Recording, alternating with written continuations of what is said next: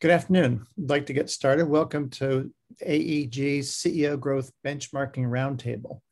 Uh, the purpose of today's, today's session is to help you uh, sort of understand uh, how to make your company more effective, operationally effective, and higher value.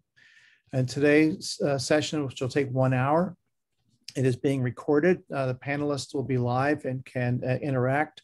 Attendees are in listen-only mode. Uh, you can ask questions in the chat function, the Q&A function. Um, in this hour, what we want to do is, is understand the core value framework, understand where it came from and why it's so incredibly effective at directing people to the right activities to grow value.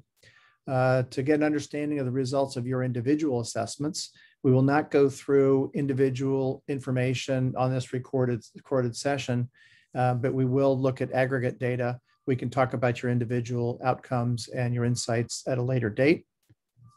Uh, and then we'll explore some, some growth opportunities that uh, might be common to those who took the assessment, and then share some best practices. We have three uh, experts from AEG to top, talk about those drivers that are the most common ones, and then talk about the value of, of a deeper dive into um, uh, your individual company. So the premise for this is how is it possible that two companies in the same location, the same industry, the same revenue and margin, one sells at 4x, the other sells at 6x? So, guy Chuck Richards uh, thought about this a long time ago. He grew up in Springfield, Vermont. When he left for college, the company was one of the town was one of the wealthiest in the state, and when he graduated, it was not so much. Um, and he started looking at this and, and his work at, uh, at MIT, it did his dissertation on what drives uh, financial value of companies. And so we'll talk a little bit about that, uh, about how that was. And what, what he came up with is he realized that, that think of your business as an engine.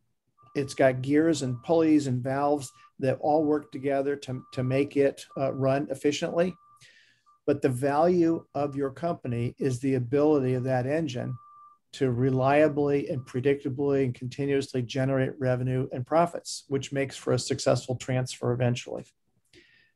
So uh, his research pulled 18 individual drivers, we'll talk about in a second, but these are all kind of like gears in your engine or parts in your body, they all have to work together. And you can imagine when one part fails on your, your engine, it doesn't often uh, decrease the value by just the value of that part, but often can bring down your, high, your entire car or your car, entire engine.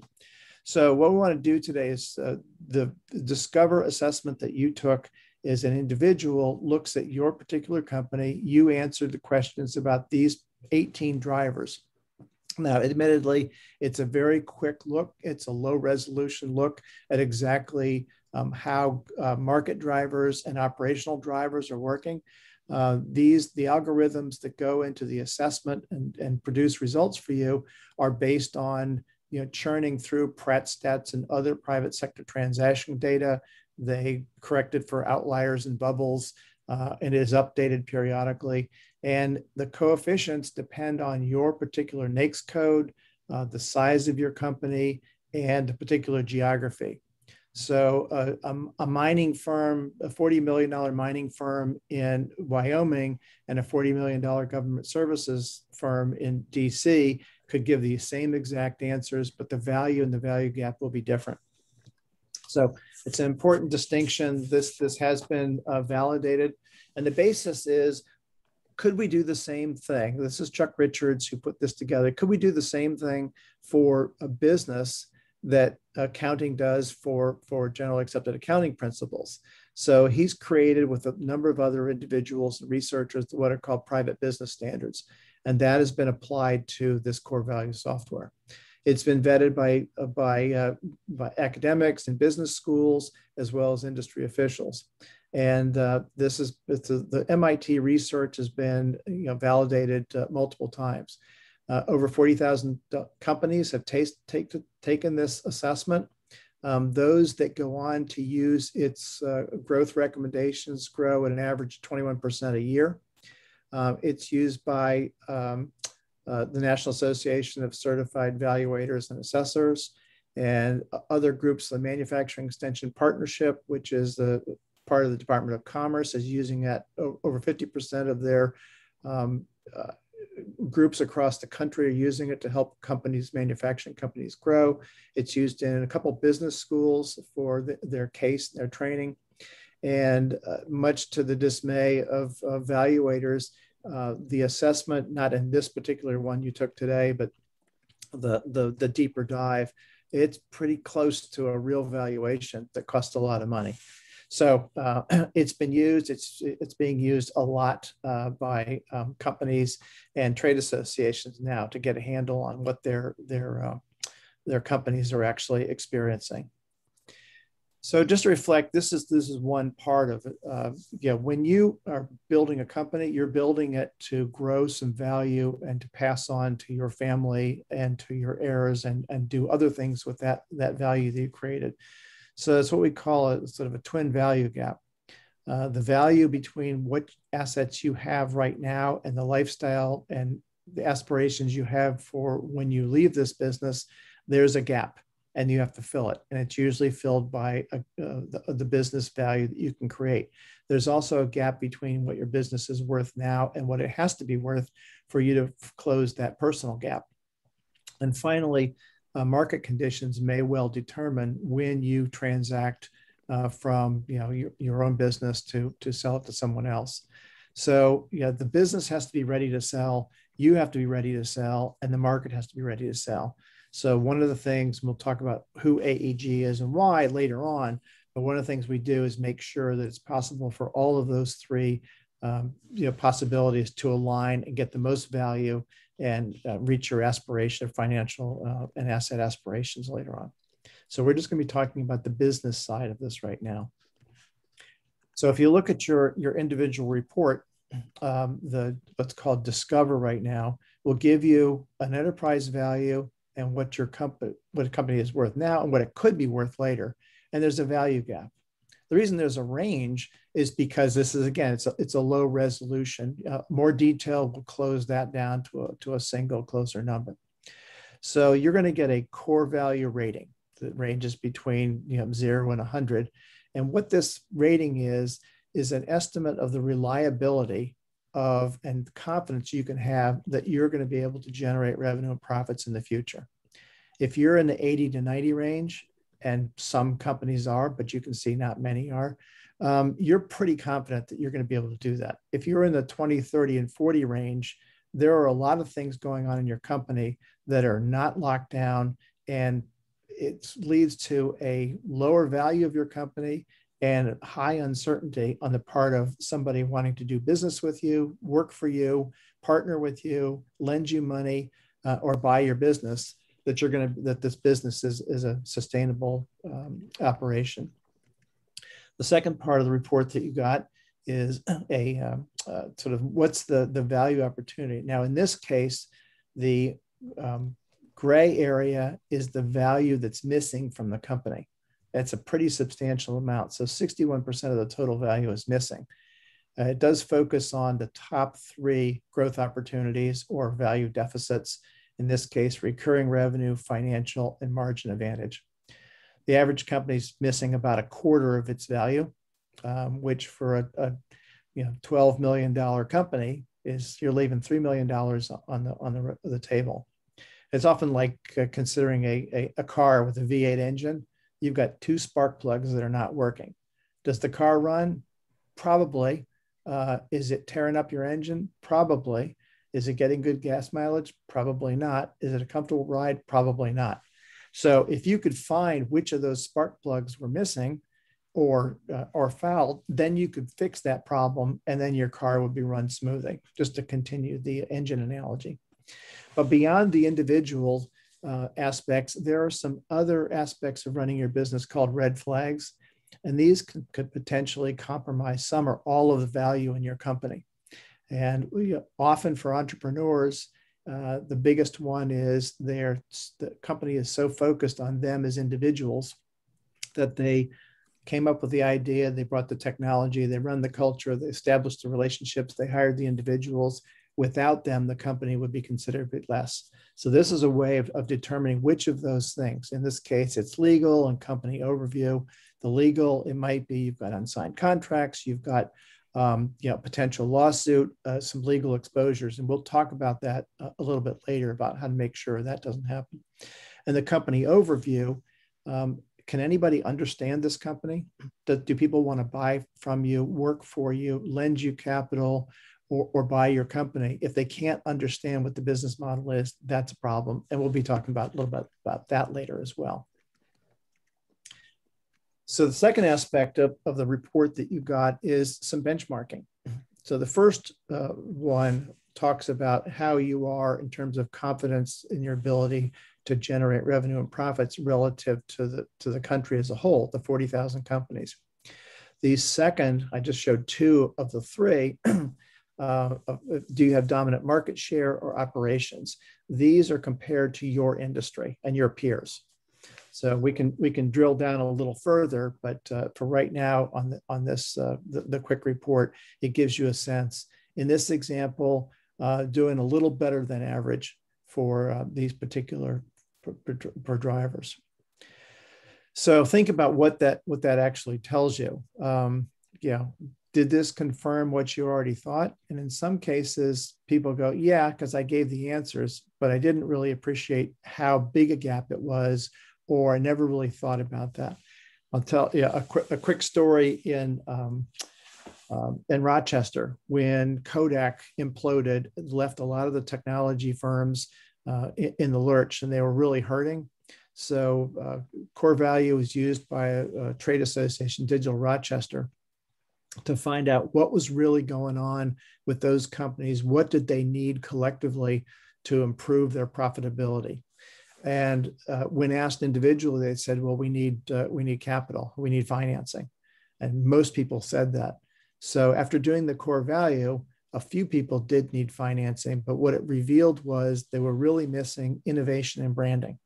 And when told that, uh, they said that can't possibly be true because we're all technologists. You know, we're innovators. And the answer was no, you're not. You're, you know, polymer chemists who put stuff on thin film substrates for Kodak. You took that technology from your lab to your garage, and that's what you've been working on. You have no second or third products, no product line extensions. Oh, yeah, that's a good point. And branding, you're a technologist, you're not marketing and salespeople. And because they had individually said they thought they needed financing, many of the digital Rochester programs were wealth managers, financial planners, uh, commercial banks. Uh, and that really wasn't what, what drove was driving their value. So they pivoted and provided you know, an innovation incubator and some, some branding and marketing support and uh, really turned around most of those companies. So that that's why it can sometimes be a surprise for you know what you actually see.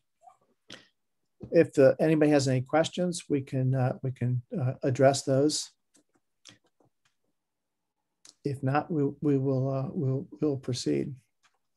So this is looking at the aggregate data. So in this case, we had seven companies that take the assessment. The mean core value rating is 66. These are fairly sizable companies. The mean revenue for the US average companies is about 7 million. But the, the ratio between the revenue and the value and, and the gap is, is pretty similar. So one of the benchmarking opportunities to say, okay, well, how do I compare? We didn't have a, a big uh, sample size in this case, but the universe is those 40,000 companies I mentioned before. So our, our, challenge is, you know, if this is done for a trade association, is the trade association lagging behind the country as a whole or, or moving ahead? So that's a useful way for, for groups of companies to do that. And if you have a portfolio of companies, you can do the same thing and see where you stand relative to others. Now we get down to the interesting part is what as a group, you all seen the individual reports and you can see what your particular uh, primary uh, challenges are and your growth opportunities. But collectively for these seven companies, um, it's operations. Am I operating as efficiently as possible? Growth. Have, have I captured the growth that's possible? How fast am I growing? Financial. Are all my financial systems in place? Barriers to entry. How am I likely to be uh, you know, outcompeted by somebody who just jumps in? And margin advantage. How am I doing as far as profitability? So each one of these for the average company, if you solve this operations problem by improving your processes, um, whether it's it's meetings, tracking information, uh, having a framework to uh, to organize with, you can add four hundred thousand dollars to your to your bottom line in terms of the value, and based on the ratio, probably add that in revenue, and you'll start to grow faster. The same thing for growth. It, are your products differentiated enough? Uh, do you understand um, how to market and how to position your company to make it possible to growth? And the financial side, um, are your financial systems in place? Do you have risk management in place? Uh, are you able to, to make sure that you your contracts and, and your policies are all in place? Um, and we'll have three people talk about this. Um, um, uh, Deborah Fell is going to talk about growth. Beth Berman is going to talk about operations, and Aaron Gase is going to talk about financial and legal aspects. And then, depending on your particular industry and your market, you know the barriers to entry. Um, other than illegal activities, how do you prevent somebody from entering your market? One thing is to make your product sufficiently strong that you're in a in a in a blue ocean situation. They're not in your market. The margin advantage. Well, if you've got growth, you've got operations and financial, um, then your margin advantage is going to accelerate. So for all three of those reasons, so you can see that each industry and each company has different opportunities. Now, what often ends up being, if you look on the right side, sales and marketing and recurring revenue, this top line growth, especially coming out of a, of a pandemic, they are the top concerns of, of many companies. Um, operations and growth and barriers to entry, they look kind of familiar. So um, you can see that the, the, the priority of you know, the seven companies is slightly different, but for the most part, um, they're, they're the same kind of things. Now, the last piece is, is red flags. None of the companies, seven companies that took the assessment, have any red flags. I talked before about human resources organizational roles. Um, when the, the, the entrepreneur or the owner is the company, even in a larger company, if they're driving sales and they're driving the culture, um, that is a high risk of losing value upon sale. Um, legal and company culture are, are the, the, next issues. Uh, a lot of times people have uh, litigation either in process or uh, as, a, as a risk. Yeah, they've got uh, a lot of unsigned contracts, for example, or some some way that they may may have some problems. Uh, company culture, again, do does everybody buy in? Is the company growing at, at a reasonable enough pace? The culture can be maintained. Is your management team good? And have you got some discipline in how that works? So there are times when uh, at due diligence, um, one of these things can come up and they can tank a, a, an offer pretty quickly. So this will identify those things that you can take care of uh, well in advance. And the, the value of this, it's like a house inspection. You know, if you get it done two weeks before your, your uh, house is going to sell, uh, you probably think, well, gee, I can't sell it. I've lost value. I could have fixed all this stuff if I had had a year or two to fix it. So what I'd like to do now is uh, go and uh, go to our, our, our, experts in, in the growth area, the operations area, and the legal and financial, and let them share some of their expertise and, and views on how to actually capture that value in your uh, own assessment that you can get. So I want to introduce Deborah Fell. Um, she's a, um, AG member, area managing partner, and um, CMO par excellence uh, for Chief Outsiders. Deborah? Thank you, Mark. And it's good to be with you all today. Um, first of all, let's just go straight to the next slide and, and, and talk about, acknowledge what a difference a year makes. Um, if you look on the left side of the slide, you'll see an economic forecast from exactly a year ago. And the red arrow down shows where we were. And we didn't know where we were going from there. But the economic forecasters was looking at leading indicators and they were saying there's hope coming. The indicators are there that the economy is going to recover. Look to the right a year later, and yes, there have been some hiccups along the way with, you know, second waves and so forth, lock, rolling lockdowns, um, all kinds of, you know, disruptions going on. But we have in fact climbed out of the deep hole and the predict predictions are that we're going to grow this year, uh, almost double that growth in 2022 and grow in 2023. So, so markets are rising. The resilience of the American economy, um, powered by companies such as yourselves, um, is, definitely there. And so, if you go to the next slide, um, what um, the key question for you, and I want to pause here, and then we got to jump into the marketing leverage points really quickly, um, but is to decide where is your there? In other words, if the chart we were just looking at was your trajectory for your industry, is that the trend line you want to be on? Do you feel you need to be slightly below it because it was a rough year and maybe you have some supply disruptions? Or do you want to take the opportunity to just cut right through whatever the trend line is and accelerate your growth? And we've had many discussions with CEOs and their executives teams to sit down and first identify where are we today? Where's the starting point? And if we're fine where we are, then great. If staying here is not where we want to be, what are the implications of staying here? Let's figure out from the CEO and perspective team of the team, where do we want to get to? What's our vision for growth? why do we need to get there? What does that future state look like? What does that mean for our company and for our people? The plan, the, the, the, the strategy and the plan is the how to get there. What's going to be the hard part? What are the resource challenges? How are we going to know what progress we're making? And Beth's even going to talk a little bit about that later on as well. So, so it's making that decision. That is really the starting point. And then it becomes a, a mindset piece of it, mindset for growth. And it also becomes the rolling up the sleeves, developing the plan, and then attacking the plan to, to generate the growth. If you go to the next slide, there are some really main takeaways for today, even though I'm only talking for like two more minutes. Here are the takeaways. First of all, there is opportunity to accelerate into this market's recovery and drive more revenue, drive more margin, drive more share, just like Mark's been talking about. One key way to do that is to gain critical leverage in some key um, marketing aspects uh, that ultimately will do the best to support your sales team efforts. It's also important to be in the context of your customers and not only understand what's changed for you and your company and what your needs are, but what's changed for your customers' need, needs. How, how are they different today and forward versus where they were a year ago?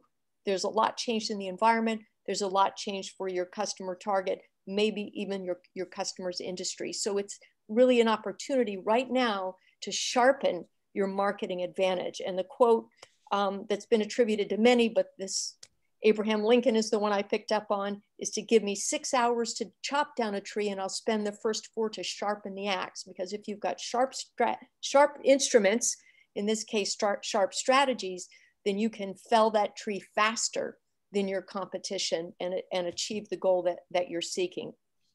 So let's talk about what those critical marketing leverage points are on the next slide. And that, those are are knowing your customer. So the, the, the point of these four items is that you can accelerate, you can grow your revenue and margin by getting more leverage from marketing. Marketing is often under leveraged in a business. So knowing your customer, and you're all going to say, well, I already know my customer, go on to point two. Let me challenge that just for a second, because we're talking about knowing something very specific knowing who your decision makers are and what are their pain points, not just for the company, but what are they what are their pain points that need to be addressed? Number one, number two, what is their actual buying process? We talk mostly about this very, you know, balanced triangle sales funnel as if they just drop right down through it into money in our wallet. That's not how it works. Uh, the B2B buyer or the B2C consumer has a has a buying process and and more and more digital has come into that. We know even in the B2B buying process, 81% of, of decision makers start their journey in online and they've consumed 15 to 20 pieces of content before they ever talk to a salesperson. They've spent 27% of their time researching online before they spend that 17% of their time talking to a salesperson. So decisions, people are more knowledgeable, decisions are 60% of the way through the process. So it's important to know your customer, how they buy, how they decide, what are their pain points in order to get an edge. Number two, make sure your differentiators matter. One of my clients was just sure their most important differentiator for their um, architectural firm was, was their prowess at design, that it was absolutely the best, nobody better. The customer's biggest priority was, yeah, they wanted design good enough, but their biggest priority was speed and follow up. And the competition had this nailed. So it's important to make sure what you care about most and what you invest in terms of your differentiators are the ones that matter most to the customer. Otherwise, guess what? They don't really matter. So know your customer, make sure you, you your differentiators matter. Talk to customers and learn that. And then take your, you want to create and align your go-to-market plan with the prospect's decision process. So if customers are starting online, guess where you need to be? And you need to understand and and when we think about channel choices we want to be a little bit less random and not just say hey let's go place an ad in that trade show magazine. Hey let's do this digital campaign. Let's first understand the customer's buying process and then be where they are have have the right message for the right prospect at the right time and in the right place in the right channel. And there's a way to mesh your channel strategy with knowledge about the customer's decision making process. And then make sure the message is timely and relevant. Over the last year, Chief Outsiders value proposition stayed the same, but we changed our message that you would find on the homepage four times. One, when we were going into the pandemic, two, when we were starting to see our way out, and, and three and four. And right now, our message is about accelerating into the market rise. So, being very relevant, very timely with the context of our customers. So, those are the key four points of marketing leverage. And the last couple of things I'll, I'll say to you are on these on these last two slides, and then I think it's time for me to pass the baton. So go to the next slide, Mark. And that is it's important to not just think about what companies' needs are and your products and services, because companies don't make decisions, people make decisions. So that's why understanding your decision makers and what their pain points is so critical. And the final point um, to address the margin advantage is that differentiation is the antidote to commodity. So the example of being certain that your differentiators are lined up with the customers, what they value the most, that is margin money in the bank. Thanks, thanks, Deborah. That's uh, um, that was a a, a master class in yeah eight minutes. so, yeah, and yeah, we'll send information. Deborah can can share with you a little bit more about the how uh, afterwards. If you want to explore that with, with her. So we're going to go. You know, once you've you've been clear with your customers and you've got some some top line movement, uh, you got to be able to to deliver on your products. So Beth Berman is going to talk about um, you know setting up a structure and a process to make your operations work. Beth is a certified EOS implementer. Beth. Okay, thank you, Mark. First slide. Yep, there we go. So um, Deborah gave me a, a great lead in, really focusing on growth, where we want to take a company. Now, the question is how do you create a structure? How do you create process? How do you create um, an organization that can execute, not only draw those people in, those ideal customers who are best fit, but operate in such a way that we can get the results we want, whether our goals are maybe more control over the company. Maybe we are wanting to sell in X number of years. Maybe we want to have a succession plan. Maybe we want to franchise. Maybe we want to stay boutique, but maybe make a greater impact in the world. Whatever the goal of the company, what's most important is that strengthening your operations to execute on clear aligned goals involves having some sort of a structure. So, what I'm going to give you today is a framework that um, that I work with called EOS or the oper- the Entrepreneurial Operating System. Some people also call it Traction, but it's actually called EOS. Um, and EOS focuses on three things: vision, traction, healthy. So, what I am purporting for you is whether it's EOS or another system, I would like you to have a system that focuses on vision, getting everybody in the organization 100% aligned on where they want to go and how you want to get there. Next, traction, creating discipline and accountability, making it happen in such a way that you are executing on that goal throughout the organization, clear lines of accountability, clear lines of uh, responsibility, clear communication. Um, we're still staying at this point in the slide. okay. um, then the next piece is healthy. You know, business is hard. And maybe when you started your businesses, it, it was fun, it was exciting. But over time, what happens is it's not fun anymore. It's hard. We're not lacking in politics, emotion, politicking, all of these kinds of things, territories, friction that doesn't get resolved. So, what we want to do is we want to create a, a, strong, healthy team that has fun again, where it's scalable, it's growable, and so forth. So, taking, go back if you would, two clicks, Mark what EOS is about is, is, is a based on a discovery, and that discovery is that to the extent you can take all of your issues and sort them into six key components and then strengthen those components, that's where you get what you want from your business. And your ability to solve issues is directly related to your success. So let me break the model down and then I'm going to share some tools with you. So the first one is vision. And vision is about getting everyone 100% on the same page with where you want to go and how you plan to get there. In our system, we have a two page or two element document we call the Vision Traction Organizer. Mark, you can take us to it. Thank you. Oops. The Vision Traction Organizer that will help us align around eight questions. So, what are the eight questions and why are they important?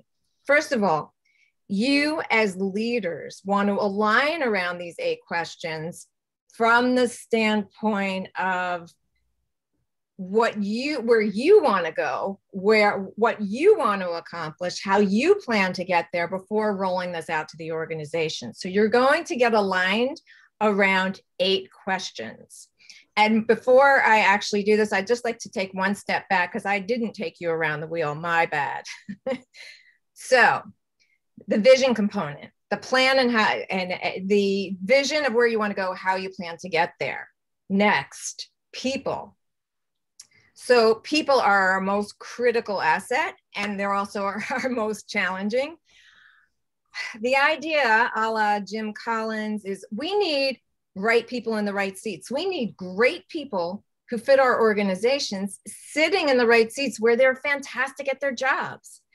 When you've got a strong vision and you strengthen the people component sort your issues into these components, the next piece we want to strengthen is data. So we're not multinational corporations we are entrepreneurial businesses. You are leaders of entrepreneurial businesses. And the idea here is you want to have the right amount of data, not reams of data, but the right amount of data to give you an absolute pulse on the business.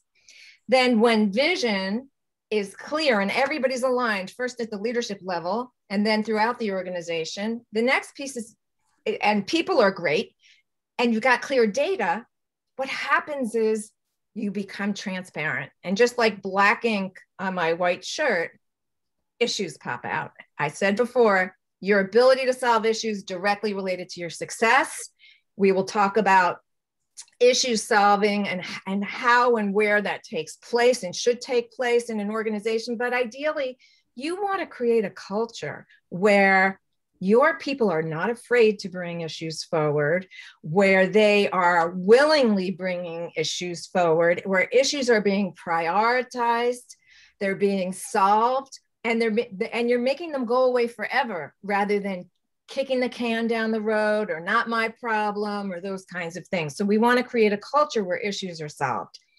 Next is process. And what we find in organizations is there's either too much process or not enough process. But it, it, what you want to do is get to a level where you've got all of your core processes documented at, a, at an entrepreneurial level so that you're not inundated, you're not putting straitjackets on people, no 500 page SOPs like the government. We want the right amount of process so that we can do things the right and best way every time. So we get consistency, repeatability, scalability, more profit, more fun. And finally, the piece that brings it together is traction. And traction is about executing on the vision, discipline, and accountability. So, back to that next slide the vision traction organizer. This is an example of how to organize those questions and align around it so that you get clear on your vision. So, first question core values. Maybe you have core values, maybe you don't. But core values reflect who you are as an organization and we're not talking now about just words on a page, words on a website. These are principles to live by.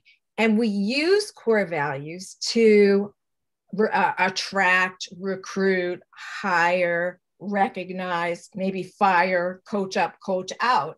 And I'm going to show you a tool in a little while about making that you can use to make your core values come to life and have them be uh, something that helps you coach your people up, coach your people out, create a culture where everyone fits like a glove and is super powerful. Um, the next question that we want to align around is your core focus. Now we're staying on the slide, thanks. Okay.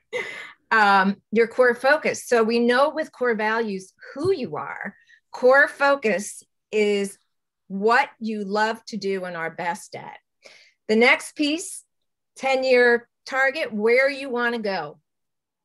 One rallying cry for the organization. Then, marketing strategy. The elements that Deborah talked about, you want to be crystal clear on those elements and simplify them and stay to, for example, your differentiators. Three year picture where are you going to be in just three years so you can motivate your people? Next slide, please.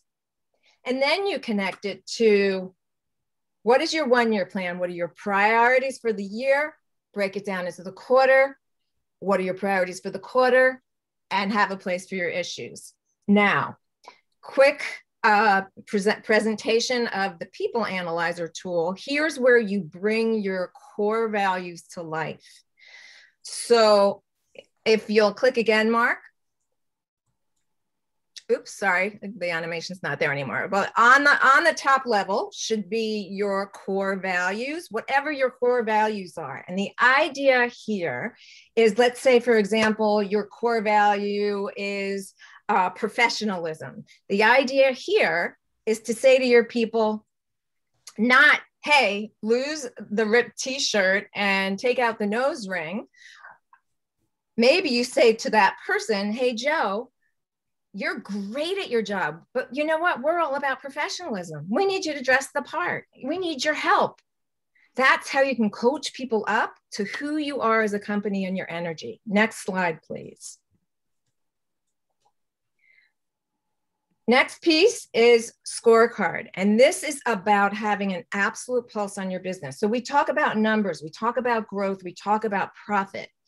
This is, we start with measurables, leading and lagging indicators, a handful of numbers that you're going to want to keep track of, not reams of data, as I said. You're going to have a target for those numbers based on the accountability chart that you build and having clear roles and accountability that is also part of this, you'll then have 13 weeks of history to help you see what's on track and off track in your business. Now, bringing that down to the ground, the next piece is accountability, a clear structure for the organization and bringing people with clarity around what they're accountable for and then tying having a place to tie it all together with a meeting structure if you would just show me the uh, last slide mark very quickly um, the idea here is most meetings are boring. You want to have a meeting structure where you're doing your reporting very quickly. Meetings are boring because they do a lot of reporting. And then have most of your time focused on your issues and your to dos and making sure the right things are getting done, the right priorities, building towards your goals. Taken all together, this takes you to a place where you're operating, you've got great people, you've got clear data, you've got um, your issues being solved, you've got process for the right amount, of scalability, and finally, traction, bringing it all together. And Mark, if you would just in a living document that ties together all of your components. So uh, that's what helps you get operationally as a strong company, and that's what helps you grow, scale, and get what you want from your business. Mark?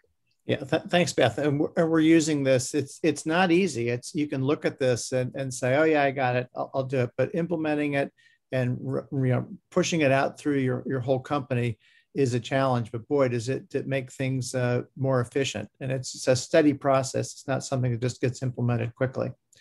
So th thanks, Beth. So the last piece, we've talked about top line growth with Deborah and getting things uh, operationally efficient with Beth. Uh, our last uh, expert is Aaron Gase, who's a shareholder and M&A uh, attorney for Shulman Rogers and he's going to talk about a, a, number of areas where you need to, to manage risk and prepare yourself for, for growth and sale.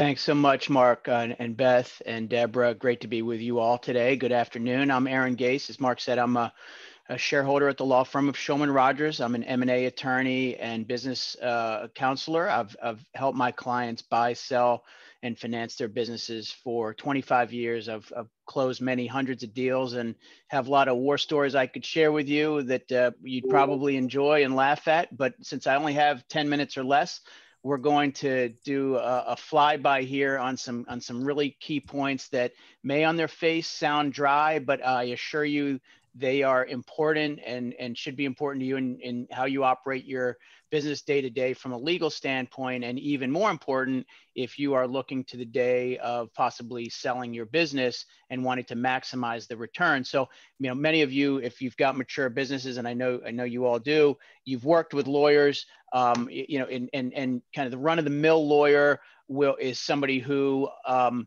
will help you uh, kind of worry about things so that you don't have to worry about things and they're they're conservative they're always assuming the glass is half empty, looking for problems always, maybe not facilitating your growth. For me, as a business lawyer over 25 years, I've learned to, that to be really effective for my clients, I need to certainly do those things. But but on top of that, on top of being a, a cautious and careful lawyer, I also need to be a, a business minded and, and a good business person as well. So I always try to bring those two things to bear on, on issues that we encounter. So what I want to talk about here are, is uh, four things in particular that I think if you can do better than you're currently doing, you will protect not only protect yourself, but also increase the multiple of the valuation of your business um, when that day comes when you want to try to sell your business for maximum value. So let me run through these. There, there are four of them, as I said, and a fifth point, if there's time, I'll get to that as well. So the first point is protect your intellectual property. So by this uh, intellectual property, I mean intellectual property in the broader sense, not only patents, trademarks, copyrights, but also things like trade secrets, inventions, work product developed not only by your employees, but also by your independent contractors. So you, you, it's, I think most people know that for um, things that are ideas that are patentable or uh, marks that um, you've developed to represent your business, you can get and should get those registered with the Patent and Trademark Office, if only because if somebody else tries to use it, you'll have stronger rights in protecting um, in protecting those intellectual property uh, rights. But there are other other things that you really should do and and and um, take very seriously that do at least as much, if not more, to protect your intellectual property. And let me tick through those two things. One is just be sure your employees sign well drafted agreements that clarify that any work product or any inventions that they, they develop um, in, in the course of working for you, uh, that those are deemed to be company's property and assigned to the company. And that also, um, you know, that also impose confidentiality requirements on your people so that they are not free to use your company's secrets and intellectual property for other purposes other than g- growing your business. And the second point there here is, is very similar with your independent contractors. So we just talked about your employees, but your independent contractors should also uh, sign agreements that are that very clearly provide that any sort of work product or inventions that they produce while performing the engagement that's the subject of, of the of the consulting agreement or in, uh, independent contractor agreement with them, that that intellectual property is deemed assigned to and belongs to the company. Quick horror story on that. Client of mine didn't let me look at their IC agreement, outsourced work to an Indian company to do some website development. They used, they relied on the Indian company's contract. That contract did not provide that the $30,000 worth of website development um, work product belonged to the company. So years went by, we went to try to sell the company, and it turned out that the Indian company owned all of that intellectual property, and so we had to buy it back. So that that's just one horror story to hopefully um, make that a little more real for you. Point number two um, sounds really boring, but uh, you know it's, it's important, which is get your contracts in order, and this is particularly important for companies, probably many of yours that uh, do generate, you know, that, that have customer contracts. Uh, the more of them, uh, the more of them, the harder they are to administer. Um, some companies don't rely on contracts. Maybe it's just work orders or purchase orders, but many of you do. And, and so it seems um, simple and common sense that business contracts should be signed, kept together online in an organized fashion, reviewed and administered on an ongoing basis. But unfortunately, it's easy to lose track of that housekeeping as you try to grow your business and respond to everyday customer and client demand. So, are your contracts all signed? Seems like a simple point, but um, you know, check and make sure. Are they organized online in an orderly fashion? Do you know the the terms of the contracts, the termination date, how long the contract lasts, renewal terms? Do you know whether those contracts are assignable to a buyer if you are selling your company? Um, why is this important? I mean, among among a whole bunch of other reasons, if you uh, go to sell your company, one of the first things a buyer will ask for in the preliminary due diligence is for a copy of all of the contracts that are material to your business. If you can't produce those in an orderly and, and, and, and expedited way, you're going to start raising questions in your prospective buyer's mind about whether you've really got um, a business here that, that's worth buying. And if you're able to respond quickly and everything's in order, it only encourages the um, you know encourages your buyer and, and the buyer's enthusiasm. So all these things lend to company value. Third point, your cap table. Of, you know, do you know who owns your business?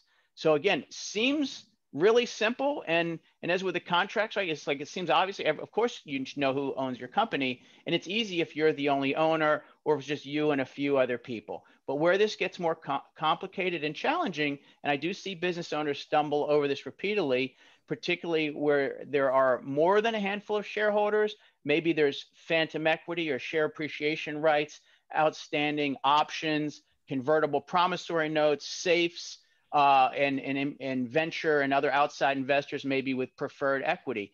Uh, it, it can get complicated very quickly if you're not tracking it. And it gets even more complicated if you, like other business owners, have done things like promise equity to people.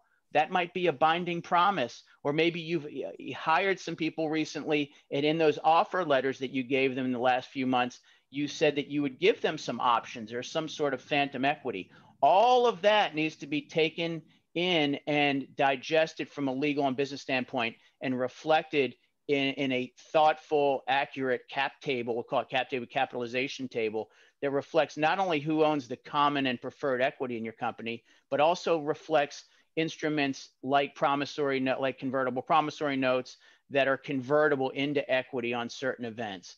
Um, so those are those are some um, basic but but critical but critical uh, things you should do there. The last one I'll mention is your personnel policies and and um, the protections you've set up for your workplace. So in the wake of the of the Me Too and the and the Black Lives Matter movements, there is increased sensitivity uh, amongst um, employees and also potential buyers of your business in the areas of discrimination and harassment in the workplace. This in turn has just increased the importance of putting in place appropriate policies and procedures and employee training to address potential discrimination and, and harassment in your workplace, to make your workplace a safe place. Obviously, important for your people that are working there first and foremost, but from a from a business standpoint, it, it um, among other reasons, eliminating bad behavior in the workplace will minimize your business's liability exposure, but also allow you to respond effectively to due diligence inquiries uh, made by potential buyers of your business and also to respond appropriately upon receiving complaints or uh, lawsuits filed against your business in, in these areas. So um, quick, quick example, working, uh, closed a deal recently, a senior executive in the business had been the subject of, let's call it a handful of complaints um, we, my law firm worked with that business uh, pre-sale to address some of their procedures and compliance, and we did training. And as a result of those efforts, and the fact that there was never actually a formal action or lawsuit filed against this executive, we were able to effectively respond to um, due diligence inquiries made by our prospective buyer, put that buyer at, at ease, and proceed to closing without that becoming a major issue. But that that executive's behavior might have become a big issue and stalled or even um, e- even prevented the sale of the business if if we hadn't dealt with it in the way that we did. So those those um, mitigation and compliance and efforts and the training and a, a proper um, reporting process, all of those things have value not only to your people, which is the most important thing, but to you as a business owner finally, as you think about all these things, you can see everything I've addressed here kind of sounds dry, or at least a lot of it does. Critical to value, critical to ex- eliminating liability exposure to you, but also really important to you as you try to build the value of your business and assure a, a, a highest possible um, price upon a sale event. As you work through these things, you know, uh, get a good lawyer on your team. Um, I'm, I'm here for you if you need me uh, but also other advisors start bringing those people together your cpa your financial advisor an investment banker potentially a marketing consultant like deborah a business advisor like beth. Get your team in place and start thinking holistically about your legal and business needs and how addressing those needs actually not only protects you against liability but improves and increases the value of your business.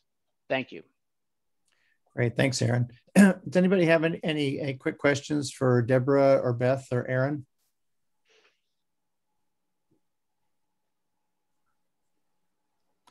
Okay, so we've, we've gotten to the point where we've you, you've done your own assessments. We've looked at how yours compare to other companies. Uh, we can go go go deeper, but you sort of have three options from here. One is uh, I've got my Discover assessment. It's uh, admittedly a low resolution, but I, I have some questions about specifics about what that actually means for my company. I'm happy to have a, a conversation with you about your particular results. Uh, have some some uh, some discussion around, you know, how other companies in the same situation uh, address their growth opportunities. The second is, you know, so I I you know, we'll do that. Second is I would like a little more data. And I'll explain in just a second how that works. This uh, first part is just the, the 18 questions, one per driver. There's a second, deeper one that looks in more detail at each one of those, three to five questions about each one. So the sales and marketing gets to market data, sales effectiveness, training, processes, et cetera. So we can find out what that, that actually means. And when the second uh, assessment is taken, sometimes there can be dramatic changes in, in the value or the growth opportunities available. So we can do what's called uh, the unlock uh, assessment. It's more of a deeper dive. And the third is, I think I've got it. I know what I want to do. I've got a particular issue, whether it's operations or growth or something. Um, I'd like to, to get started on uh, some kind of alignment and accountability focus on my uh, my my operations. So let's just talk quickly uh, about about uh, the unlock. The unlock, your process took 10 minutes by yourself. Uh, the unlock is a is a deeper dive. It can take you know one and a half to three hours, depending on how vigorous the conversation is and how much discussion you have. It's really great to do it with your management team because I've never found a management team that was all in alignment, um, but they were surprised how different their answers were for this. And so it, it le- leads to a lot of discussion, sometimes rather heated discussion about, well, you don't know what's going on. Why are you saying this? Oh my gosh, I didn't realize that. So it's a cathartic uh, experience, just the process itself. It leaves you with some very specific growth tasking for each one of those those things. So you know company overview. There's something specific about you know clarifying what the company is what they do what they mean to others some of the things that deborah talked about. Um, as you tackle these individual tasks the information you provide is put into a data room. You know, for example if growth is an issue and you need to, to get estimates of revenue and profit for your uh, competitors we're thinking whoever gets that, well, boy, that makes your company more valuable if you have a good handle on that. So that data room, and then it puts puts a lot of alignment and accountability. It may be that one person is responsible for your biggest you know, data you know, value gaps, or for all your great growth opportunities. Is that the right person? Talking talking about what Beth said is the, is the right person on, on the bus, the people. So anyway, that's that's uh, where we go. I think the core value assessment tool and framework is is an incredible tool. It's being used widely, and a lot of people find, uh, just like the EOS system, or Deborah or Aaron's uh, advice about you know putting some structure down and getting uh, your, your your marketing and your legal systems and your operations uh, better organized um, is a really powerful way to drive that, that, that growth. So just a final final pitch about uh, AEG. You know what we do is really we're we're a, a, an ecosystem of advisors, about 50 advisors in complementary disciplines, including financial, personal, business growth, technology, uh, benefits, HR, uh, et cetera, wealth manager, estate planners. Um, and we can look at any stage of growth in your business. Uh, we'll work with your team uh, or your advisors we're looking for a long-term relationship because we can take you through the whole process of growing, getting started to a 5 million to a 50 million and uh, in our dreams, uh, a bigger company. But ultimately, we're really focused on helping the, the mid-market business owner, you know, grow their business, add value, uh, get to the point where they can exit on their own terms and build personal wealth.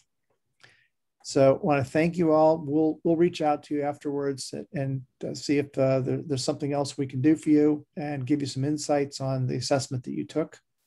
And um, we're gonna have a discussion. Any other comments, Tom or Mo or or Jeff? Just thank you for a very good presentation. Uh, pretty well rounded and uh, very to the point, and the slides were well well executed and um, very very enlightening. Thank you. Thanks, Jeff. Uh, appreciate the, the time and the presentations. Thank you very much. Thank you as well. Terrific. Thanks, guys. And thanks to our panelists, uh, Deborah, Aaron, and Beth. Oh, yeah, we don't want to forget them. Good luck to everyone, and we hope we can help. Appreciate it. Yeah. Thanks, guys. Bye-bye. Bye-bye.